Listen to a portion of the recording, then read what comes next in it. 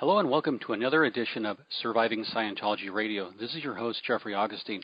On today's show, we continue part two of our interview with Claire Headley.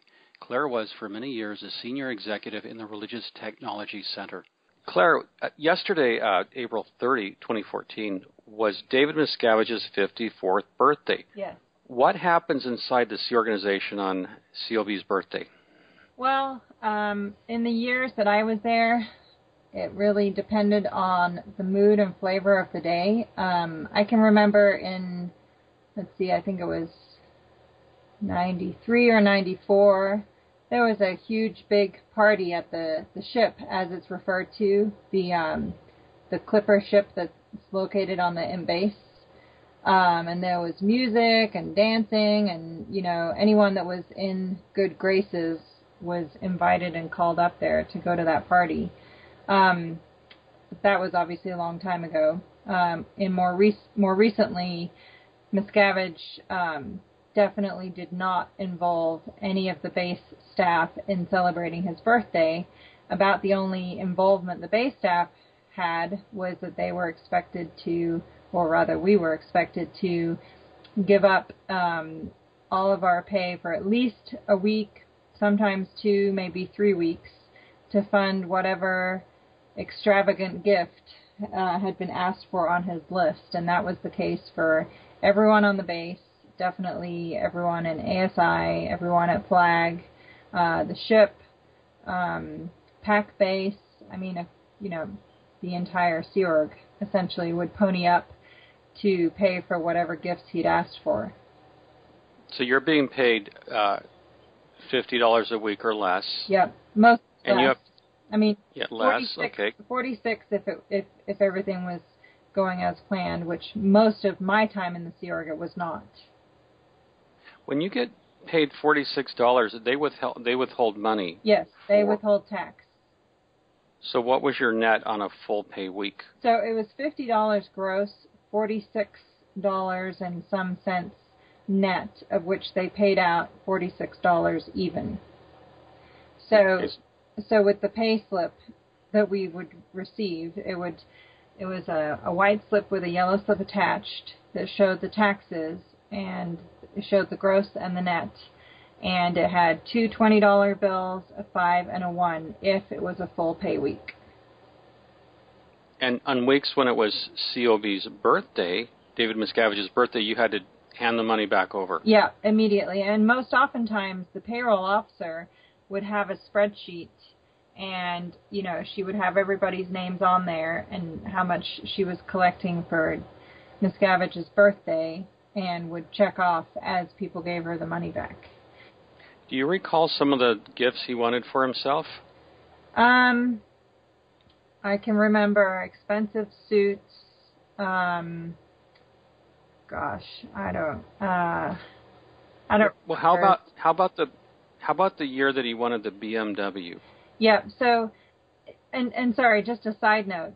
Um, the reason it's so hard for me to remember what he was given is because it was never something that I ever physically saw. It was just something that I paid for, along with everybody else. You know. Oh, I understand. So you might you might not even be told yeah, what you're buying. definitely COB. not there when it was opened. You know, God forbid. anyway, um, but yeah, so so the year that Miscavige wanted this BMW, um, uh, and I think I had started to men- touch on this the other day, but it was um, ASI and their staff decided that they were going to purchase this for him. And ASI had a very different pay arrangement than all the rest of the Sea organization in that they received they regularly received high dollar bonuses. They you know, they they wore regular civilian or civies clothing as it's referred to in the Sea Org, um, meaning they didn't have to wear the Sea Org uniform. They wore normal clothes and they were ex- always expected to look like a million dollars. Um, Now, let me interject here for our listeners that don't know. ASI is Author Services International. It is a for-profit corporation that is part of Church of Spiritual Technology. yes. So, as I understand it, Claire, correct me, correct me if I'm wrong. Author Services International works for L. Ron Hubbard or his estate, and it works to collect royalties for Hubbard. Right. That's and does most of the money Author Services collect go to Church of Spiritual Technology? Yes. Okay. So they get paid better because they're a for-profit. And last I checked, there uh, the secretary there is Ryland Hawkins. That's right. I, and they're all are uh, Author Services. They're all Sea Org members. Yes. Yeah. So in other and words, in fact, they are. Um, you know, that's considered.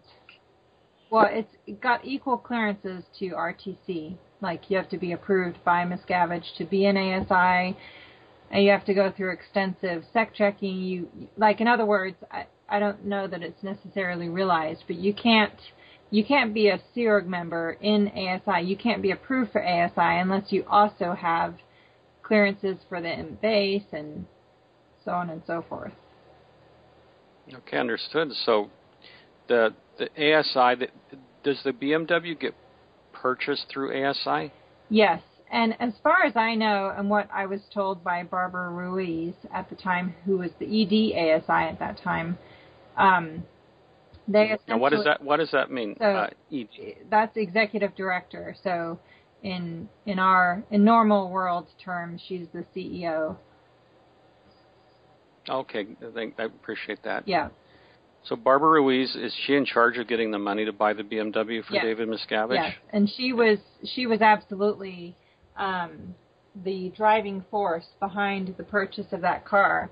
But but as I understood it, essentially what happened is they figured out the cost, the number of staff, they gave those staff an extra bonus prorated it to account for the taxes that those staff would then have to pay on that bonus, and then they and then ASI bought the car. So the title was in ASI's name, and then that was then presented to Miscavige as a birth as a sorry as a Christmas gift. Now, what during the time they were, this car is probably a hundred thousand dollars plus. Was the was the inurement word ever used? Uh, yes, and that was definitely so. As I had started to touch on the other day, the reason I found that that I heard any details about this is because Barbara Ruiz, after the fact, was then sent to be sec checked over the fact that she got this BMW from Miscavige, and because it was in ASI's name, it massively complicated matters, and would absolutely be questionable if ever, you know, reviewed as inurement. Um, and that was always a huge concern. I hadn't, honestly, I hadn't even heard the word before I became internal exec RTC. I didn't know what the word even meant. so, um, you know, when I when I took on the position of internal exec, I was had to approve the financial planning for RTC every week, and that's where I first heard the word was from um, the TRESSEC RTC, Barbara Griffin, um, and she was she clearly told me that she had to be very careful, and there was a huge concern about inurement practices from Miscavige. Could you tell our listeners what inurement means within a uh, 501c3? Yes, absolutely. So, and and again, this is as I understand it. I'm I'm of course no expert on the subject, but Certainly, inurement, of course. yeah, is using the funds in a 501c3 for personal benefit and gain. Um, you know, and obviously that is above and beyond ordinary salary expectations. Um, so questionable use of a 501c3 profits funds is how I would kind of sum it up. And, and that's well said. Now, in addition to the BMW, uh, which I believe was an M6, David Miscavige is very fond of Acuras. Yes. And he has an Acura RL, uh, Acura TSX, also a Mazda Miata, Range Rover, an Acura uh, that he keeps in Clearwater. Yes. And these are these cars of David Miscavige's all paid for through Sea Org birthday gifts? Um, I don't think they're all through Sea Org birthday gifts, but I definitely think that they're they're. I'm sure that if we did a title review, they're not all owned by Religious Technology Center. I see. What about now, David Miscavige? Also has a penchant for very expensive stereo systems. Yes. And one figure put out there is ten million dollars for all of his systems that are scattered throughout the world. Yes. I mean, how does that get paid for? If he wants a, you know, say a two hundred fifty thousand dollars sound system in one of his residences, how does that get paid for?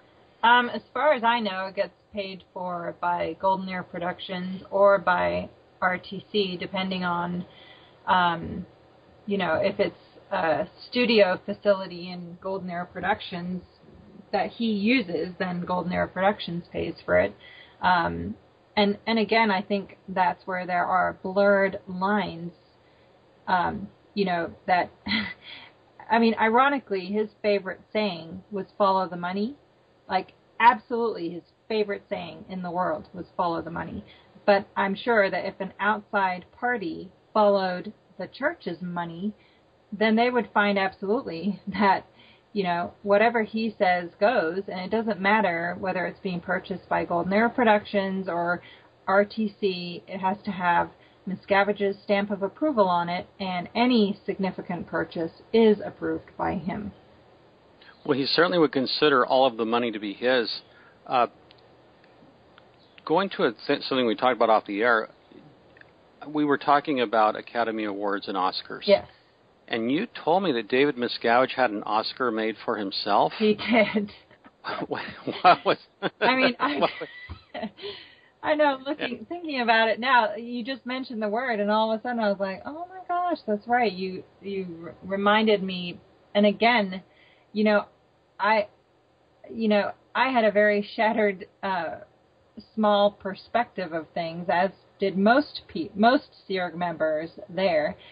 But the way that I knew about this is because Marion Powell, who was at the time the PA, which stands for Public Affairs, she was the Public Affairs head for um, religious RTC, Religious Technology Center, and um, so therefore one of her things to that she was responsible for, one of her duties and functions was staff morale.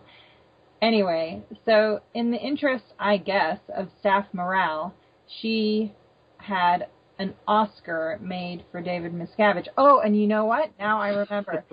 Okay, it, this was for Yeah. his performance in the uh, that TV show in uh, 1991.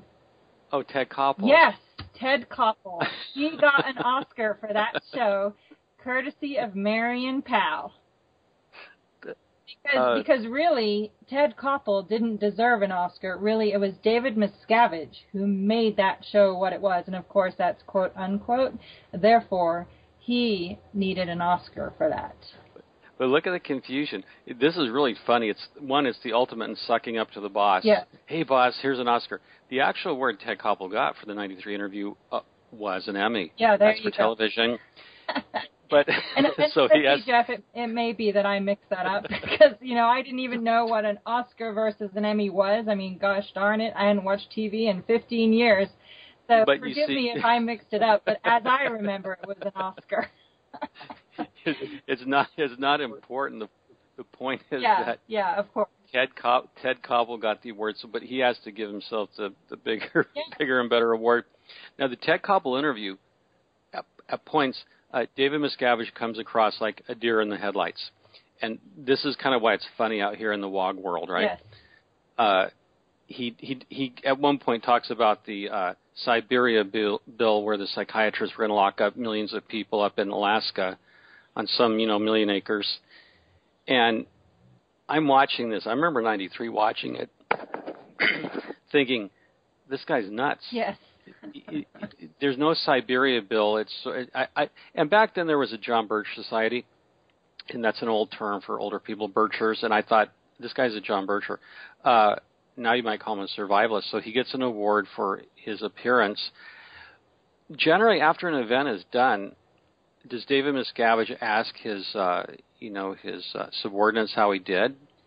I Um, mean, what yeah. what happens after the big event is done? Does he, and he walks off stage? What happens when he walks off stage at one of the big events?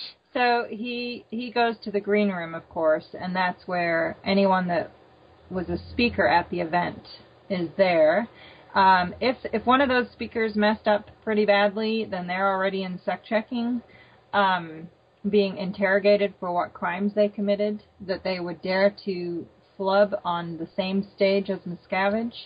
Um, but otherwise, if the event went off well, then he'll be back there, uh, you know, saying how great it was, and and and he'll then avidly wait for the feedback, quote unquote. And feedback was a common term at the int base, and of course it's not it's not uncommon in the real world. But what the feedback was specifically is that everybody, every staff member, and especially the management staff, RTC staff, you know, prominent figures in the Scientology organizational structure, were to write up a statement of how great the event was, and you know, especially anything related to Miscavige and his presentations and so on and so forth, and that would go to him that same night uh, for his review.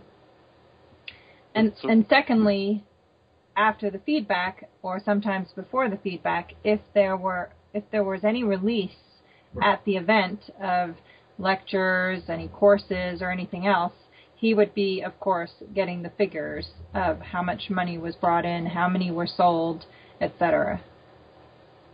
So he wants he wants fawning praise. Yes. I did great, and then how much money did I make? That's right. That's uh, I mean, that sounds like a uh, corporate CEO, but I digress. Uh, he's very volatile, David Miscavige. When did you become aware of the, of the physical violence, of the abuse, of the workplace abuse? Um, the first time that I witnessed it firsthand was in um, Clearwater, Florida, in 1996, and that was, um, you know, I was sent there from the Int Base in March 1996 to become an RTC representative in training, and so myself and 20 other trainees um, for for the same position were there, and um, and I was present at a meeting that Miscavige held with Ray Mithoff. Um, and there were a number of RTC and other staff present at that meeting, but it was in the parking lot at the Sandcastle, and um, Miscavige was, you know, yelling and um, cussing out Ray Mithoff and shoved him several times, um, and that was the first, the first time that I saw it, you know, hands on personally. And thereafter, I I mean I witnessed hundreds of hundreds of instances of him being physically violent with probably close to 100 staff. And this just became known in the church that he would kick, hit, punch. Yep, absolutely. What set David Miscavige off? Was it arbitrary? Could he just be set off by looking at him wrong? Yes, absolutely. It was 100% a roll of the dice. It could be that he had, it, it could be completely disrelated to even anything that actually happened in a meeting. He, he could arrive at the meeting having come off of a call with lawyers or God knows what in a god awful mood, and you just never knew. It was, um, you know, it was uh, a culture of fear, violence, uh, you know, fear of the unknown and what might happen. And then, for some reason, this is this kind of escapes me. You know, not having been in Sea Org or, or really in the Church of Scientology much. I mean, I had auditing way back when. I saw always a you know a low level PC, mm-hmm. and uh, I did see some disturbing things in the church way back when. But but nothing like what you're describing. So when you're living with a, uh, someone who's narcissistic, violent. One question I have is, you know, me as a man, if someone hits me, I might hit him back. Right. And but but David Miscavige is he is he always surrounded by an entourage, including bodyguards? Yes, absolutely, and and and uh, most often including lar- some large males. Like Marty is not a small person. No, no. You know, Greg Wilhere, same thing. I mean, you know, um, Russ Bellin, Tom DeVocht, you know, at different times would be part of that entourage. Um, and then he also there was this position in RTC called IGMAA, which stands for Inspector General. MAA, MAA is Master at Arms. That's the ethics officer, the person who, um, you know, is going to get your ethics in, get you to be a conformist, uh, compliant little whatever you want to yeah. call it. um, a good Sea Org member. Yes. So he had IGMAAs um, that were most often well-built, large males, and they would literally walk around with a baton stick under their arms, um, and you know, like for example, Ty Webb, um, Alex Marty was one of them. Um, there were a number of them. Anyway. So if David Miscavige, he, he arrives with an entourage, what, 10, 12 people at least? Yes. Yes. And, and, and so, and I think the other thing that's hard to understand is the isolated culture of the Sea Organization, and especially at the base. I mean, you're in the middle of nowhere in the desert. There's there's no, you know, Sea Org members don't have cars. They don't have phones. They don't have, you know, open access to anything. So you're completely at at the mercy of the environment in which you're surrounded by. Um, and so therefore you what you quickly learn that your survival in said environment depends on your conforming to the rules. Um, so the last thing you're going to do is attack the, the, the head of the entire joint. You know, no, I, I, no matter what he does. Sure, I understand that. You know, I I uh, grew up in the Assemblies of God. Yeah. Uh, the Pentecostal church is extremely authoritarian, and the pastor is basically held up to be God. I mean, I mean, obviously, or God's representative. Right. And you know, I wanted to emphasize for listeners, in some aspects, some religions, not all, but some religions can be a prison in your own mind. Yes. You feel trapped. So, you know, in the Assemblies of God, I was not free in my own mind as a young person. Right. Even though I could come and go, I had a car and I could come and go, I still felt in some ways trapped by the church. Yes. My my behavior, conduct. You know, if uh, my, my pastor was a very good man, but he could be mercurial, very sometimes very angry, and people tended to put up with his bad side because they felt he'd been called as a man of God, and we owed him our obedience. Yes.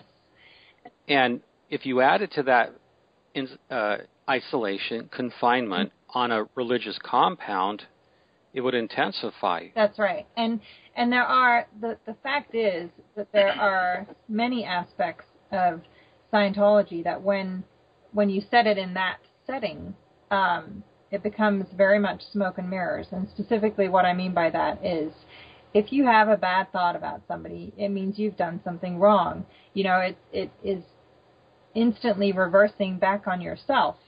And so there's a lot of um, self blame and, oh, it couldn't be him, it must be me, and, you know, all of these other things. Oh, I'm pulling it in. Pulling it in means the motivator factor that's covered in Scientology. Something bad happens to you, well, that's only because you've done something that therefore motivated you to, you know, pull in on yourself some bad thing um, and all of those were very prominent in, in, in for me anyway as a Org member. I mean, you know, God forbid that I would even think about leaving. I mean, even I did. You know, I used to have nightmares about trying to get out of there, and I couldn't even say I had a nightmare because I was like, oh my God, this is going to be translated as I'm having thoughts of leaving, which I was, but I wouldn't even acknowledge to myself that I so badly wanted to escape from that hellhole.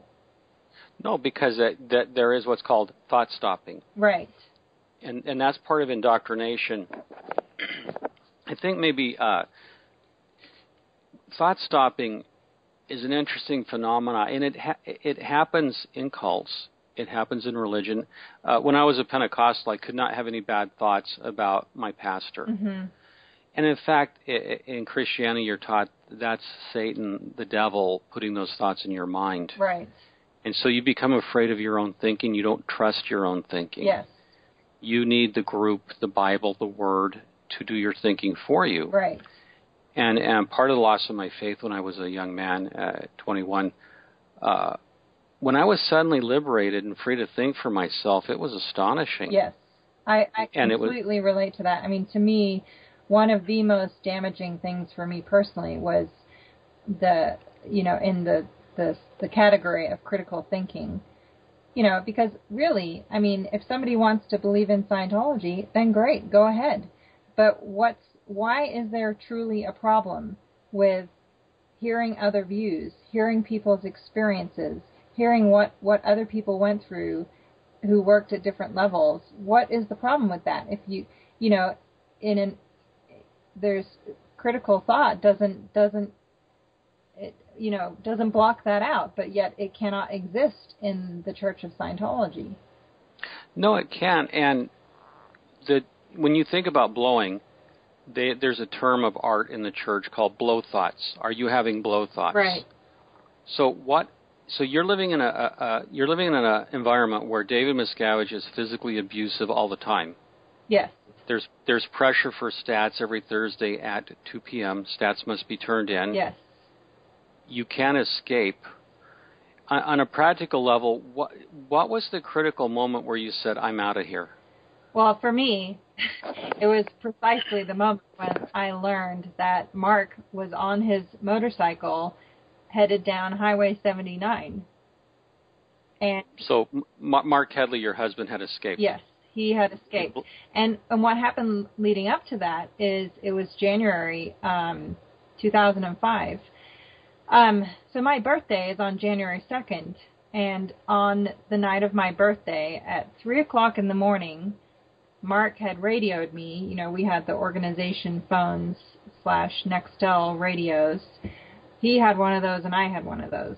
Um, he radioed me and said, "Hey." do you want to go to Denny's for your birthday? Because he had a motorcycle that he could ride on the road. Um, anyway, I wasn't able to go because I wasn't, I, you know, hadn't been home. Um, by that time already in a couple of days. I'd just been catnapping at my desk in my office. Um, and, and then I didn't, I, I didn't see him again after that. I hadn't been home at all.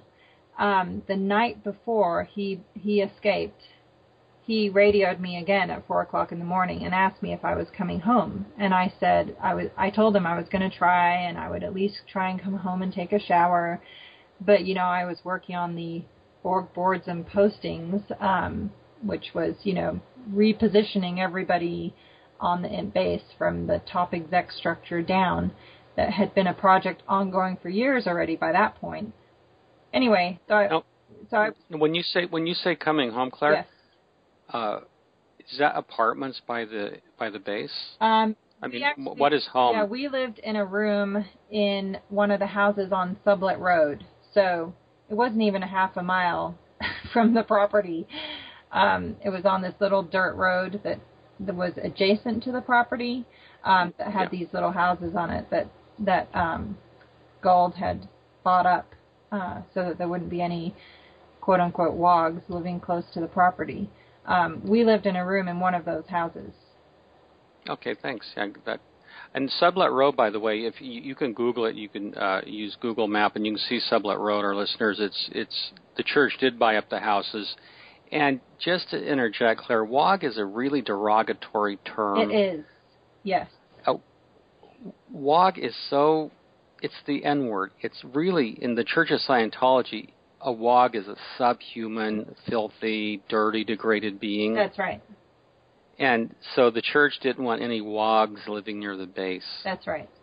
And that's to me. We'll talk about that another time. So you have Marc on your motorcycle. He is blown for good. Yes. Literally. And so he had radioed me at four o'clock in the morning, asked me if, if I was coming home.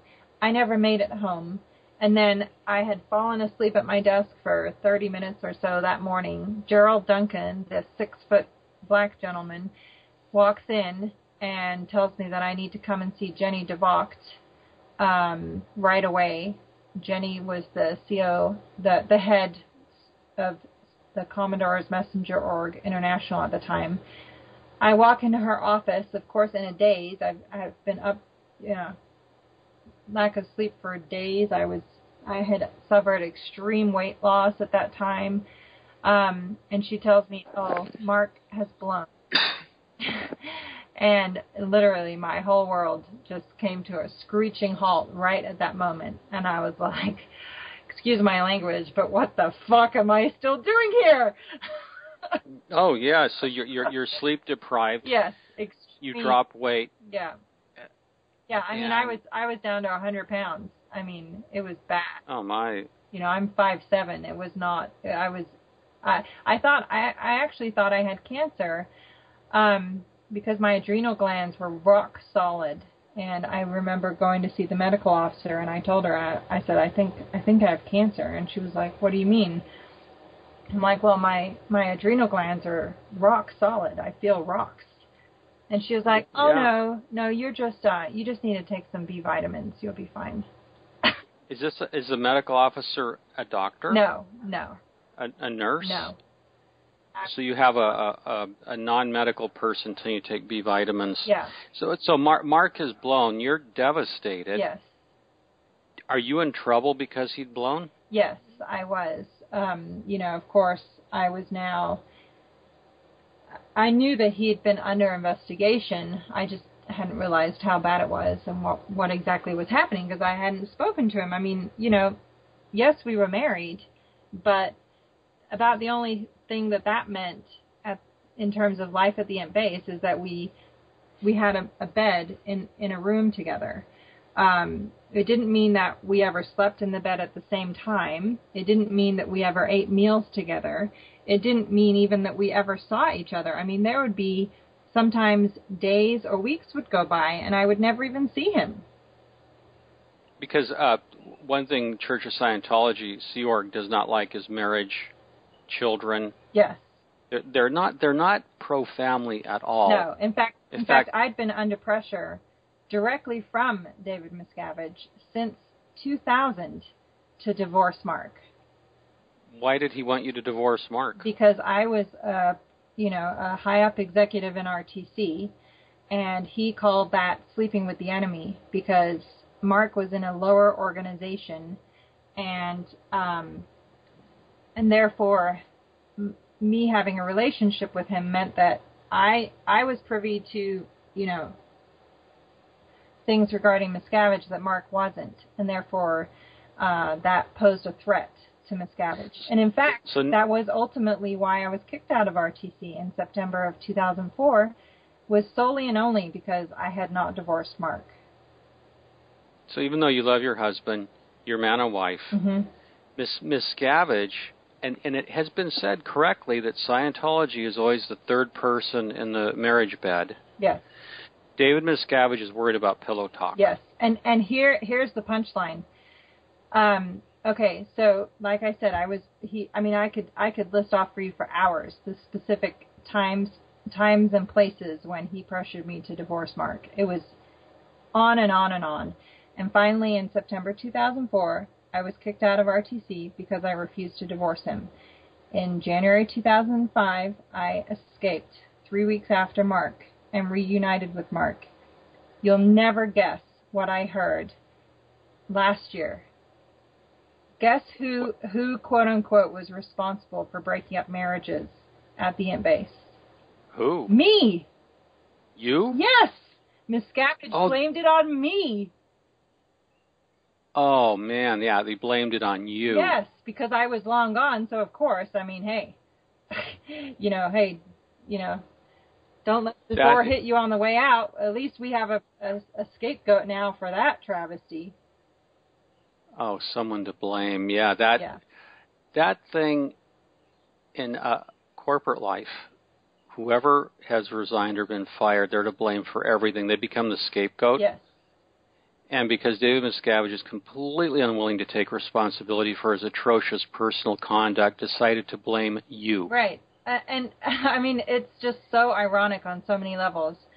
Um, there, it just defies logic. Like, why would I implement something that would destroy my own marriage of 13 years at that time? It's it it just defies logic. No, but that's part of the outrageous betrayal of uh, the Church of Scientology. Is very much it's a culture of blame, heads on pikes, abuse, yes. make wrong, invalidation, and generally soul raping, you know, malicious conduct. Yes. And when you're pushed to the breaking point and you blow, Claire, what we'll do on our next uh, interview, because I want to go on with this, uh, I'd like to talk about your actual escape from the base because I you you've told me this story before. I, have been at uh, you know uh, when you had a party in Burbank, your old house. Yes. I, I remember meeting you and Marc there, and you, to, you told me part of the story, and it is just shocking. Yes. What they tried to do to get you guys back. Yes. And it's it's almost like this mommy dearest thing where you're going to be abused, but if you dare leave, if you dare show that you don't love me, there will be hell to pay. Yes. Yeah, there, there are so many earth. factors that correlate to um, abusive domestic relationships. You know, anyway, we and it, like you said, we can cover that at a, a later. There are just so many corollaries. I read read a book, uh, Trauma and Recovery, and it's about domestic abuse and um, recovery from that. And there were so many things that I benefited from reading that book. It was just unbelievable. Well, Clara, one thing I like to do on the show, if someone in the Church of Scientology, a public, staff, or Sea Org member is listening, what would you say to them? I would just say, you know, you. Here's the thing. At the end of the day, make the choices that you know are going to uh, make you free. Really, truly, in the sense, of, in the truest sense of the word. You know, be true to your family. Be true to your, you know, be honest with yourself. Because you know, if you open your eyes and look around you, I mean. what your life is what you make it and it's what's in front of you here and now you know um you can't the like if i were to be able to talk to my mother who i haven't talked to since 2005 she is missing out on so much for what for nothing you know she's she has no relationship with her grandchildren neither does Marc's mom and you know there's no there's no rhyme or reason to that. There's it's not saving anybody. It's not benefiting benefiting any, anyone to do that. Uh, you know it's just continuing a lie. Um, so you know real honest to god review and um, you know just being honest with yourself about what's really going on is what i would suggest. That's kind of the starting point. And from there don't be afraid to peel back the layers of the onion and have at it. Claire, that's very, very powerful advice for anyone listening. The internet has a lot of information on it, and I would add to your very good advice don't be afraid to read the internet. Yes, absolutely. And open your eyes and don't be afraid to think. Yes. Claire, you've been a wonderful guest. We look forward to having you on the show again. For Surviving Scientology Radio, this is Jeffrey Augustine telling you that we'll be in very good touch. Thank you for listening.